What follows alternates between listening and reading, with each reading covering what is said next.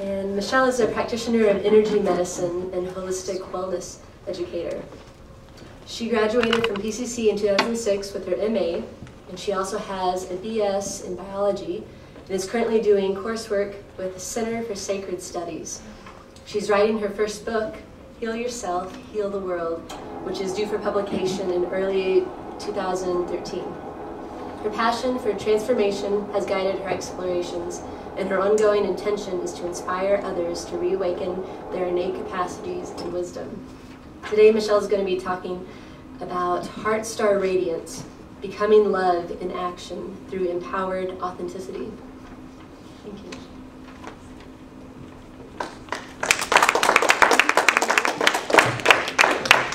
Can you see me? Or my heels just in case. It's quite tall. Okay. Have my talking stick.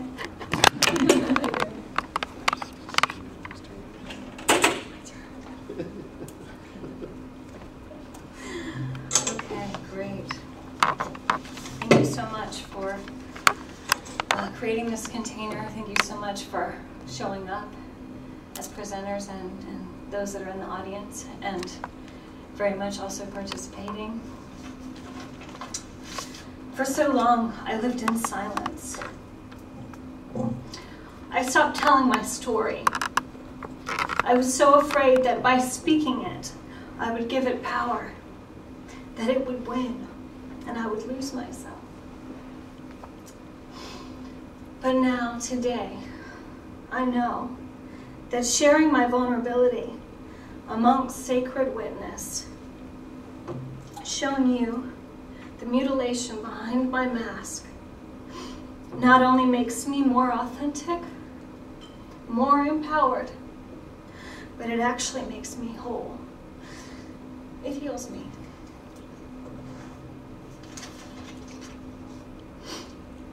And although my entire life story is unfortunately beyond the scope of today's presentation, I offer myself to you that way to see and be seen, to be held and to hold in safe and sacred space. And I thank you for connecting so deeply in the past, today, and in the days to come of our unfurling and expanding cosmic love.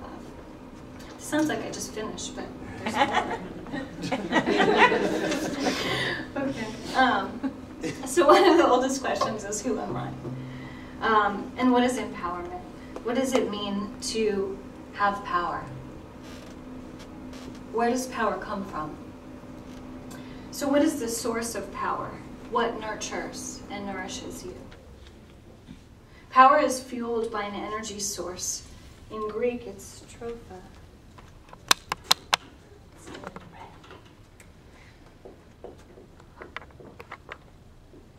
To nourish or to feed. From tryphin, to make thrive or nourish or rear. So autotroph, heterotroph, and atrophy, to waste away through lack of nourishment. So as we're sitting here, I ask you to take a deep breath. And as you inhale, feel that energy moving up from the earth into your body. You know, feel that power, feel that source of that love from the mother. Feel the flow entering you like the xylem drawing water up the stem of a plant. And feel the support and strength of the earth supporting you. Feel her pulling you into her arms, embracing you. Her gravity keeping you close to her always. The more you connect to her as your source of nourishment, the stronger the bond. Hmm. And authenticity is born of wisdom, a faculty of inner knowing, of soul honoring, discovering self,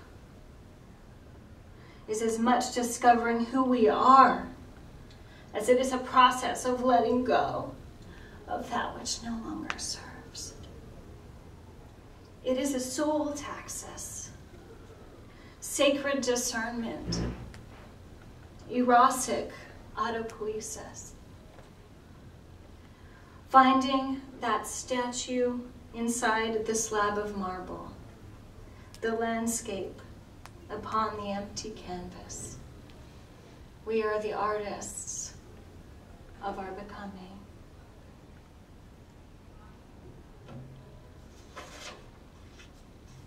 And take another breath, and this time pulling that wisdom, that truth of who you are, down from the heavens, drawing it into yourself, purifying the senses of your being. And this exhale, letting go, letting go of what no longer serves, of what's no longer authentic. Inhale that clarity, wisdom, cleansing the obscurations to your authentic self. And exhale, letting go, letting go. Before we discuss what happens in the fusion reaction between the flows from below when it meets the flow from above at the heart, I want to discuss two related concepts conduction and contraction. Conduction is the process by which heat, electricity, or sound is transmitted through a substance. So, what kind of conductor are you? I asked Aaron this, and he went like this. And I love that. and then I asked myself the same question, and I decided that I'm also a type of conductor. It's a different type of conductor. It's a train conductor. all aboard. I just love playing with words this way because there's so many meanings, and there's still more with this one. Conduct. How does one carry oneself? How does one present or behave in the context of an occasion? It may or may not be an actual occasion. I'm not really sure. I didn't take that class. but, but conduct, if we look at the word itself,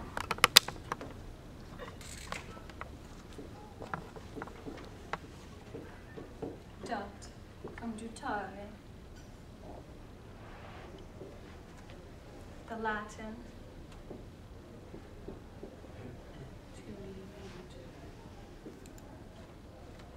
Right and with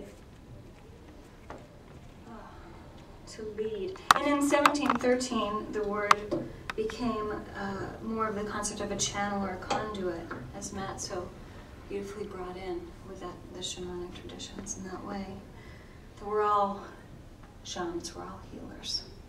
The more that we tune into that authenticity, the more clear our channel is, the more we will be able to do this healing work. So, how efficient is your conduction? Is directly related to your authenticity. And contraction. Contraction, the first thing that comes to me is birth pains with this word.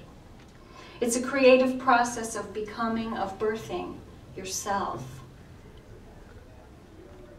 What is being birthed through you, as you. It's a creative process a creative expression? How is the universe speaking through you in this life? And then the contraction of skeletal muscle for locomotion. Where are you going? Where are you going?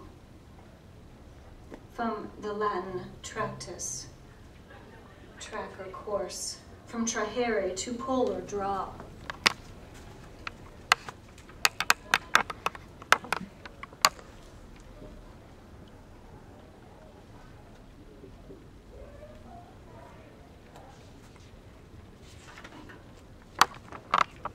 So it's as much a drawing through as it is a drawing with and together, working together through this birthing process.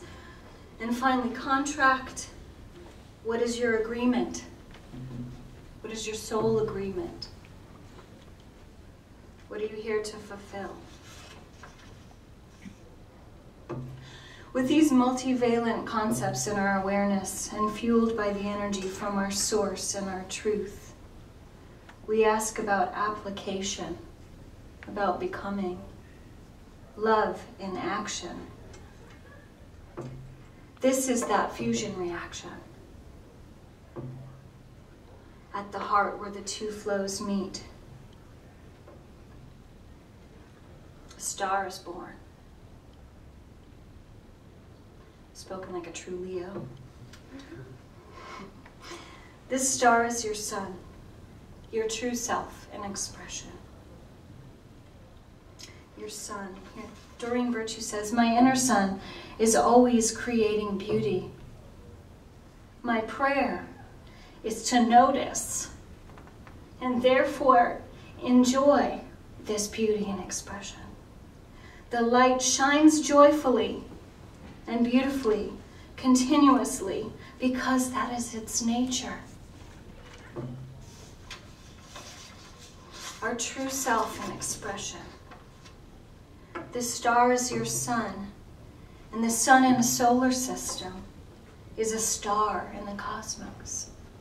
So it's an expanded view of self in terms of the context of the entire universe. The heart star is auto incendiary. You become a source of light and life for others. Of light, of this wisdom and authenticity becomes a beacon for others to step into their true selves.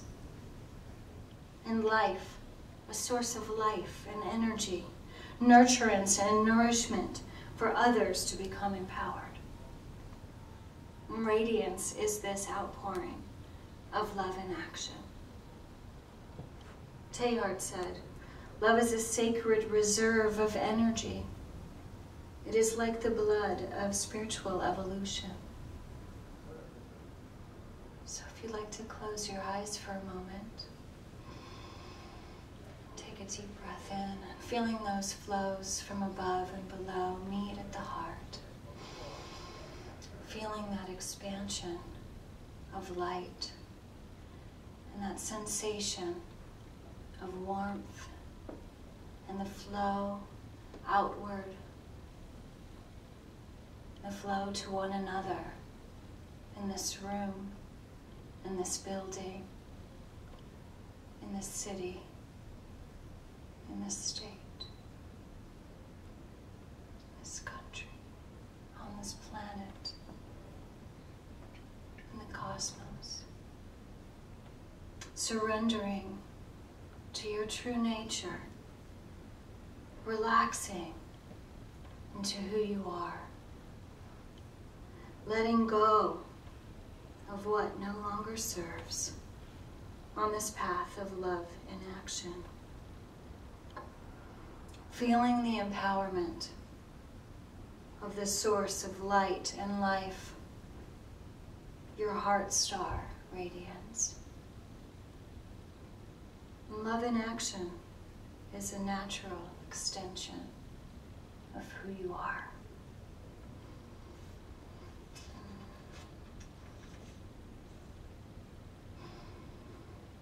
I would like to close with a quote by theosophist, author, and publisher James Morgan Pryse. Wouldst read the story of the self-born king? First, learn the splendid language of the sun, the speech of the stars, the moon's coy whispering, the music of the planets, and of one, our Mother Earth, crooning her cradle song to her uncounted babes, who when they gain the soul's full stature, to the heavens belong. Thank you.